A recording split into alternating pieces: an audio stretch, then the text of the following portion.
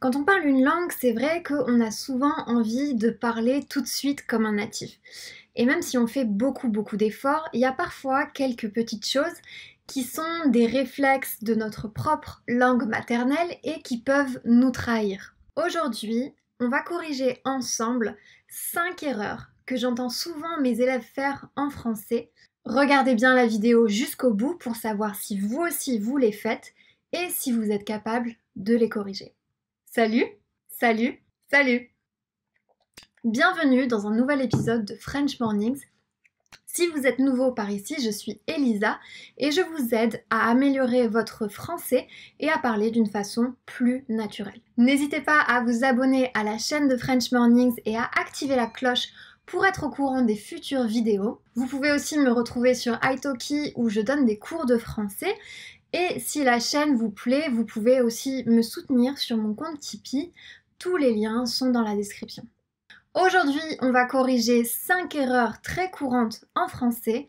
Alors installez-vous bien, prenez un petit café, activez les sous-titres si vous en avez besoin et c'est parti.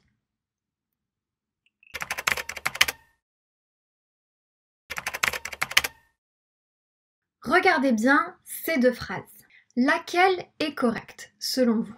Merci pour avoir surveillé les enfants ou bien Merci d'avoir surveillé les enfants. Si vous avez répondu la deuxième, bravo, c'est bien ça. Quand on veut utiliser le mot merci suivi d'un verbe, on doit utiliser la préposition de au milieu. On va voir d'autres exemples. Merci de ne pas faire de bruit. Merci d'être venu. Merci de m'avoir rappelé. Dans un contexte un peu plus officiel, même par exemple dans un magasin, en anglais on traduirait ça par please. Par exemple, merci de ne pas toucher. Please do not touch. Par contre, si on utilise merci suivi d'un nom, alors dans ce cas-là, on peut utiliser les deux, soit pour, soit de. Par exemple, merci pour votre attention ou bien merci de votre attention.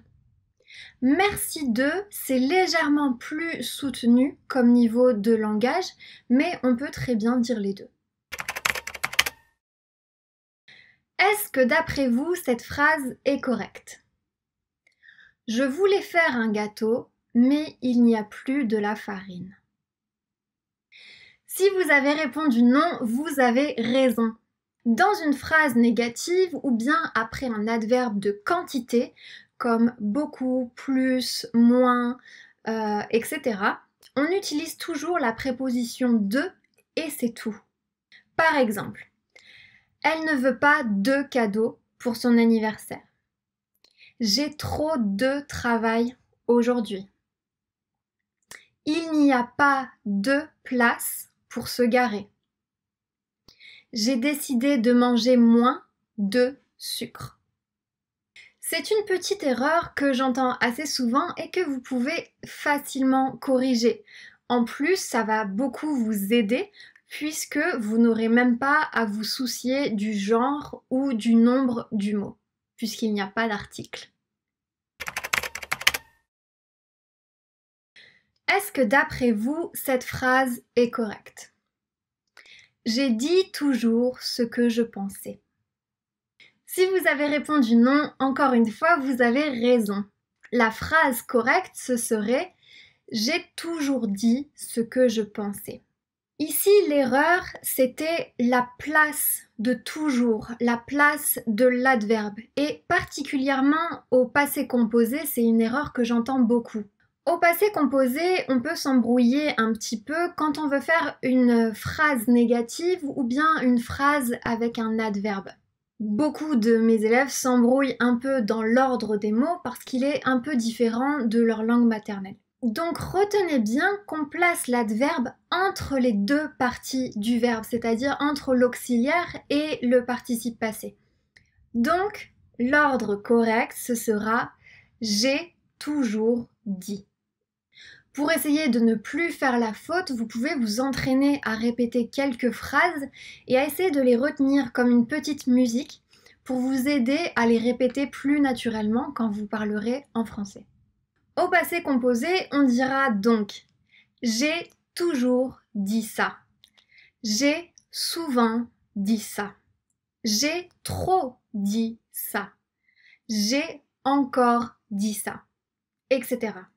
Et pour les phrases négatives, on va avoir je n'ai pas dit ça. Je n'ai jamais dit ça. Ou je n'ai pas beaucoup dit ça. Etc. etc. Vous avez compris? On va faire un petit test. D'après vous, laquelle de ces trois phrases est la bonne? Elle m'a toujours beaucoup parlé de ses projets. Elle m'a toujours parlé beaucoup de ses projets. Elle m'a parlé toujours beaucoup de ses projets. La phrase correcte, c'était la première phrase. Elle m'a toujours beaucoup parlé de ses projets. Même s'il y a deux adverbes, on va les garder à la même place, c'est-à-dire entre les deux parties du verbe composé. Répondez oui à cette question en utilisant le verbe aimer. Est-ce que tu aimes faire du vélo? Vous avez sûrement répondu une de ces deux réponses. Oui, j'aime ou bien oui, j'aime bien ou oui, je l'aime. Ces deux phrases sont grammaticalement correctes, toutes les deux, mais on ne va pas les utiliser exactement dans le même contexte. Ici, on parle d'une action. On parle de faire du vélo. Donc, il y a un verbe dans cette phrase. Et donc, à cette question, est-ce que tu aimes faire du vélo? La bonne réponse, c'est oui, j'aime bien ou bien oui, j'aime ça. Parce que c'est une action. C'est la réponse qu'on utilisera aussi pour parler d'un concept plus général. Par exemple, est-ce que tu aimes la musique?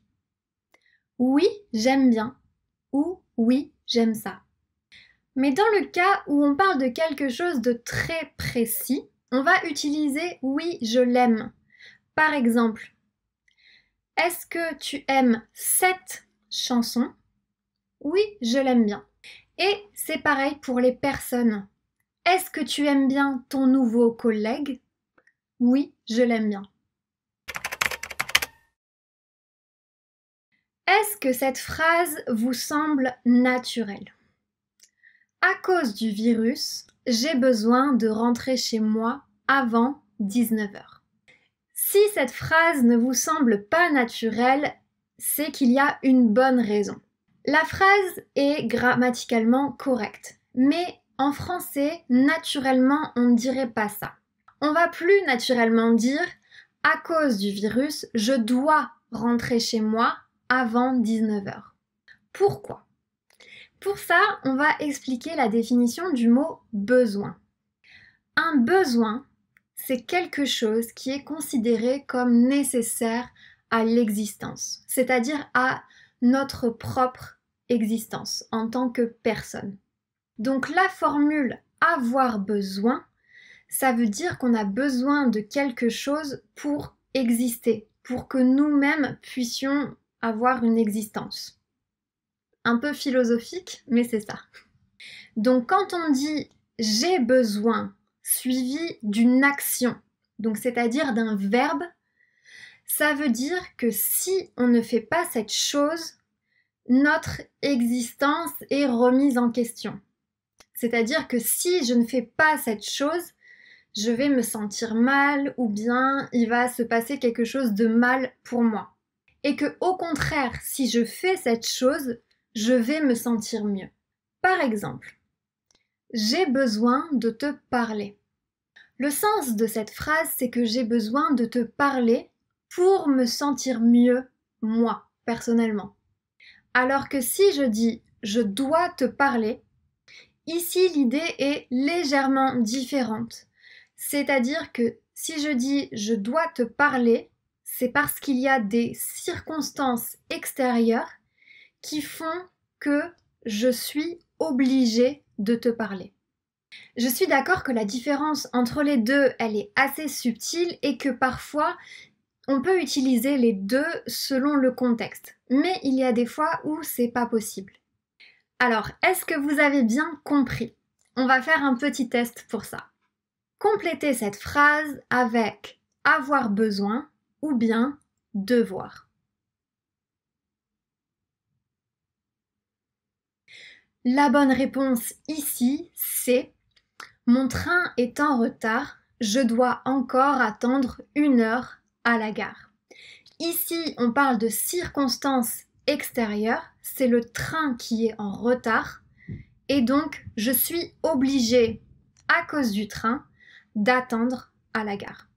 N'oubliez pas que vous pouvez utiliser aussi avoir besoin tout simplement devant un nom, comme par exemple pour faire ce gâteau, j'ai besoin de 3 œufs. Merci à tous d'avoir regardé cette vidéo. J'espère que vous aurez compris ces petites erreurs et que vous aurez le réflexe de les éviter à présent. N'hésitez pas à liker la vidéo et à vous abonner à la chaîne, ça me soutient énormément. Et n'hésitez pas aussi à venir me suivre sur Instagram, French Mornings with Elisa. À très bientôt.